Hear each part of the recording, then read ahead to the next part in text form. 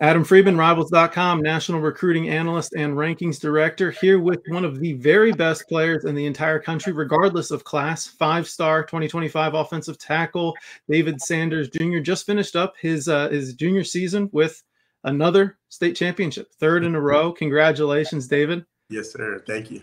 No problem, no problem. Um, uh, you've gone through a lot this season. We know that you you were a little dinged up throughout the year too. I mean, it's obviously a really tough way to end the season with an injury, but you know it must have been a huge payoff there with another yes, championship, sir. right? Yes, sir. Good stuff. Um, what were some of the things that you really worked on this season that uh, maybe last year you weren't as refined in? Right. Uh, so this year, a big thing for me was just being a leader for my team, uh, being able to dominate both sides of the ball for 48 minutes. That was a big thing for me.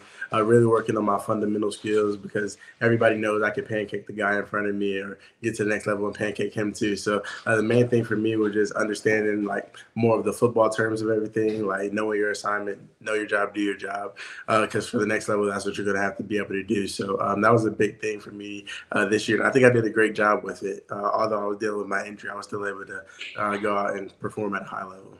Good stuff. Good stuff. Well, let's move on to the fun stuff here. David, you were just at Tennessee for the Georgia game uh, this past weekend.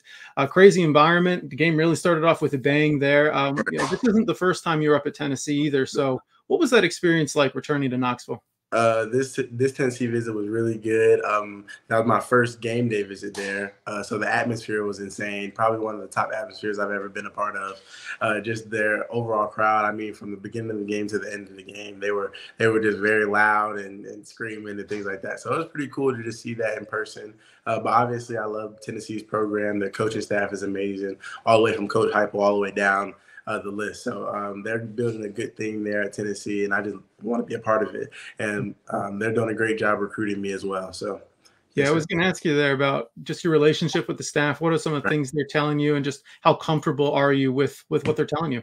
Uh, definitely. Uh, that they're definitely one of the better coaching staffs recruiting me as of right now. They do a, a, great job as a whole, not just one individual coach calling me. I mean, it's the whole coaching staff every time every time we talk. So that's a pretty cool experience for me. Um, coach Heupel is is one one of those guys that you can really vibe with uh, not only when you talk about football, but his life in general. So uh, I really uh, like talking to him. Uh, Coach Elarbee, I bond with him pretty well. He has a very calm spirit. So uh, sometimes when I'm talking to him, it's like he's super calm. I don't know how the college football coach, but uh, he's a pretty cool guy, and I like talking to him as well. Um, all, all five of the um, assistant offensive line coaches are amazing as well. So I think I have a great relationship with everybody, and I feel very comfortable going to Tennessee multiple times now. it's just getting more comfortable at each and every time I go.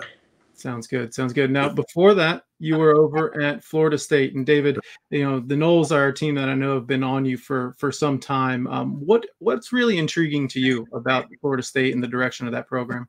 Uh, definitely. Florida State has a unique way of recruiting. They don't really overwhelm you with uh, too many calls or FaceTimes in Texas. So uh, sometimes you kind of lose sight of them. But when you when you get to visit, you definitely feel that that energy and love from from everybody. Just like Tennessee, from Coach Norvell down. I mean, he's if you ever met him, he's a ball of energy and just a great guy to be around. So that's somebody you uh, really enjoy talking to and being around for the weekend. So um, I love Coach Atkins and the way he coaches and bonds with his players. It's amazing. Uh, when I was at Florida State, I got to spend the whole weekend there. So I got to sit throughout team meetings, offensive line meetings, and like offense of meetings in a whole. So it was just uh, pretty cool to see them interact with not only me, like in the recruiting aspect, but them interacting with their players just to see how they respond to him, uh, which was pretty cool. So, yes, mm-hmm. sir.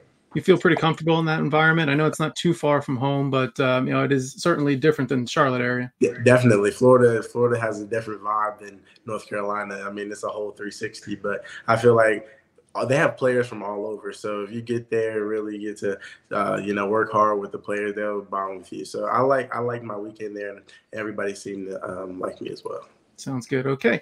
Then, but the weekend before that, you made the short trip down to Columbia to see South Carolina. Um, you know, I think other than I think that might be the closest school to you, uh, you know, in just driving time, really.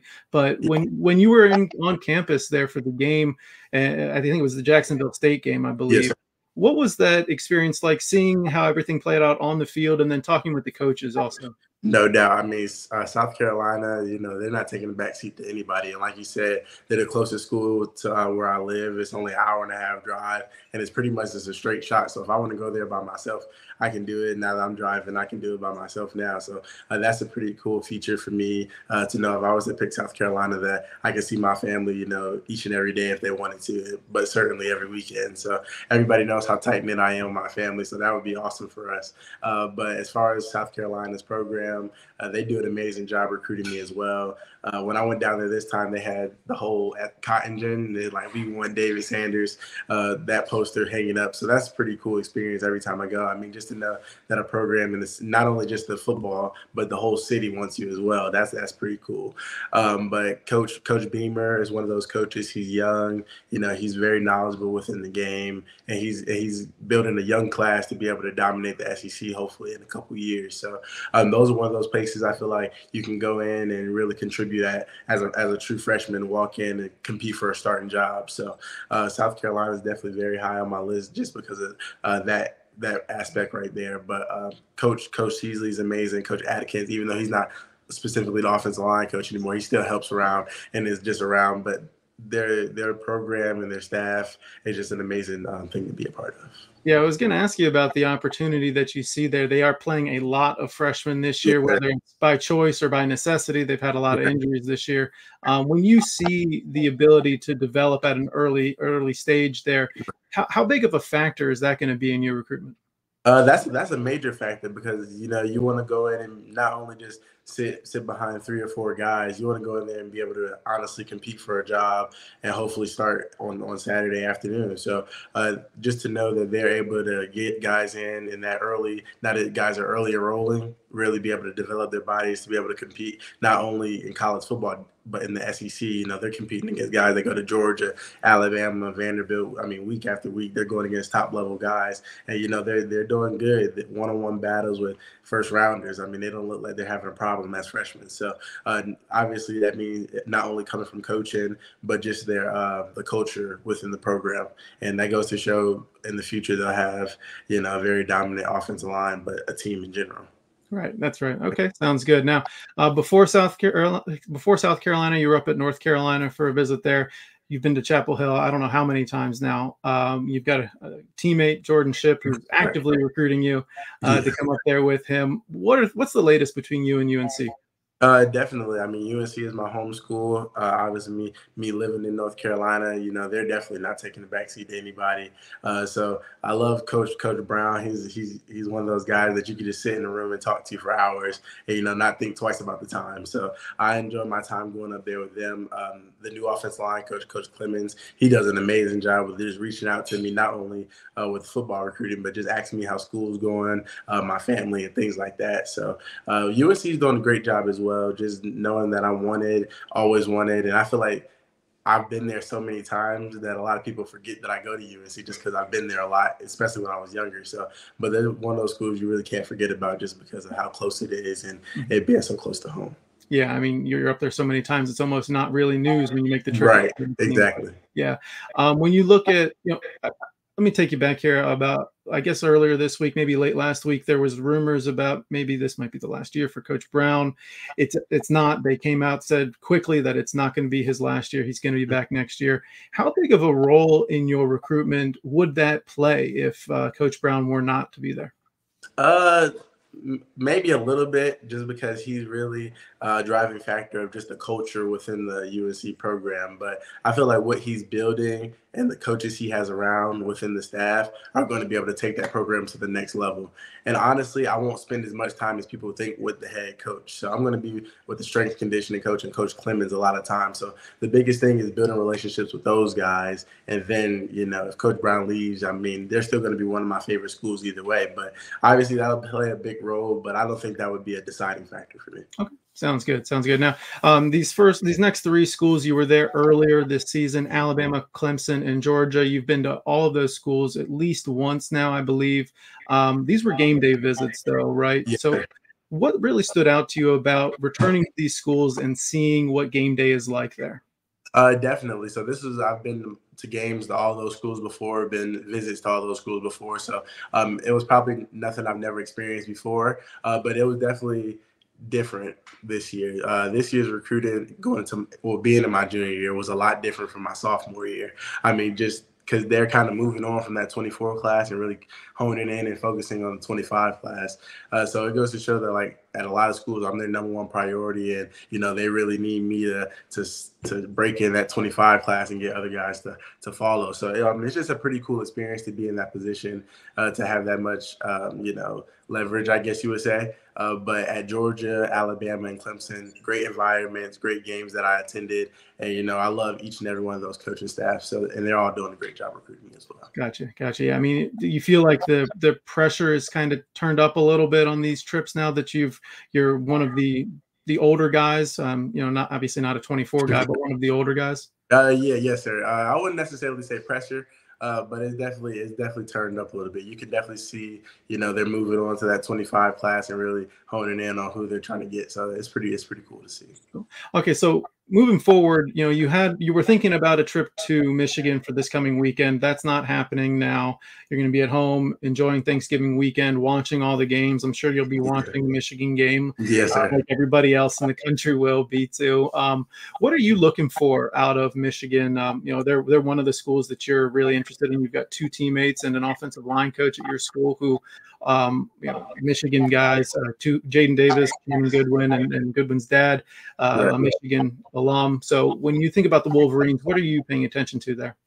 Uh, definitely, I want to see how they do with this new 24 class coming in. They have a big offensive line class. I think three or four guys coming in, maybe five. But uh, I just want to see how they do when they early enroll that spring, watching them throughout the spring game. You know, how they develop in those young guys? Because that's really the main thing. You can't really judge a program off of who's already there in their junior, senior year. Because when I get there, those guys are going to be long gone and not thinking about me. So you want to you want to really look at that freshman class that's already there, and then the incoming freshmen and how that they're liking it, how they're developing, and how they feel like they're being coached. So um, I have good relationships with a lot of the 24 recruits uh, that are going all over the place in, in, the country. So just being able to talk to those guys and get feedback on how they like the coaching and then just the program in general to um, to be able to weigh in on my decision. Sounds good. Now Michigan, you know, you've got a lot of interest in them. They're one of your top schools. Ohio mm-hmm. State also one of your one of your your top schools. So when you think about the Buckeyes and the way that they've developed on the field this year and your relationships with the staff there, what are you what are you paying attention to with Ohio uh, State? Uh, definitely. Well, uh,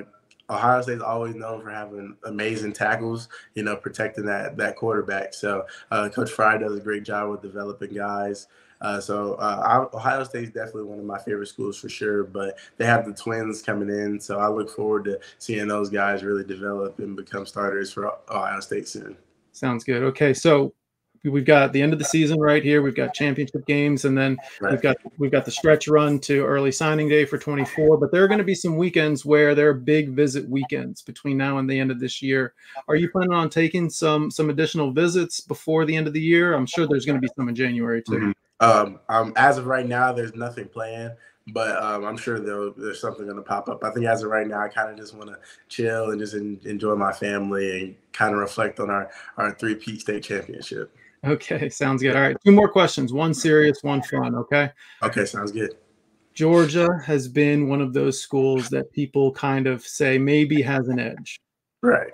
How much truth is there to that? Uh, I think there's a maybe a little bit of truth there. Uh, obviously, Georgia back-to-back national champs. Uh, coach Searels, obviously, a lot of people know I've known him since I was in, in, middle school. He was the coach at UNC, so I have a different type of relationship with him uh, than most coaches. Uh, and then Coach Smart is one of those guys that you just, you know, you love hanging around, not only just the football aspect, but just him as a person. Uh, I mean, he talks to my little sisters on the recruiting visit more than he talks to me. I'm like, Coach, are you recruiting me or them? So it's kind of it's kind of cool to see him interact with not only me but my family. And uh, you know, we can walk around Georgia now without the name tags and without, and they could be walking around without me. And I think every coach on the staff would know who they are and their names, what they're doing in life. So just little things like that stick out to me the most. But Georgia obviously um, is a great program with great coaches, and I just love being around around that program for sure. Okay, cool. All right. Thanksgiving question. We got it coming up on Thursday here. What's on that first plate? I know there's seconds, you go up for seconds, but what's on that very first plate for Thanksgiving? I feel, I feel like it's everything, you know, turkey, yams, macaroni and cheese, the greens, dressing, ham, uh, cranberry sauce. Uh, it's gonna be it's gonna be a lot cornbread, the, the Hawaiian. It's gonna be a tall plate. It's gonna be a tall Yeah. plate. It's gonna be huge. So Are I'm you- Are you a stuffing guy or are you a dressing guy? uh, I think dressing. Yeah. Oh, okay. Right. Agree to disagree there. Okay. Okay. Okay.